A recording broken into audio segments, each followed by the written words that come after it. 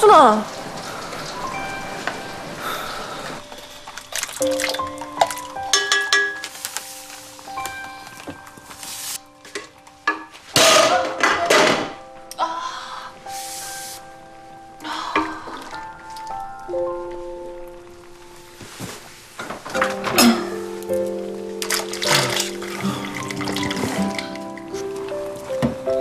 식초도 넣는 건가?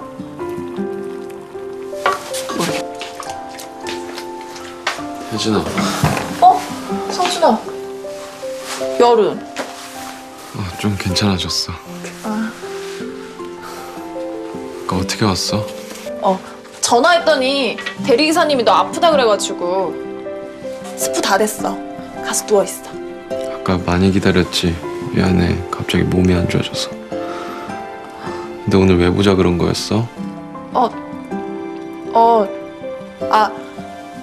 네 자켓 세탁 다 돼가지고 그거 돌려주려고. 너 옷 없어서 헐벗고 다닐까봐. 나 옷 무지 많아서 헐벗을 일 없는데 아무 때나 줘도 된다니까. 내가 원래 빌린 물건은 빨리 돌려줘야 되는 습관이 있어서. 어, 빨리 들어가 쉬고 있어. 내가 다 되면 부를게. 빨리 빨리 빨리. 어? 빨리 빨리 빨리 빨리.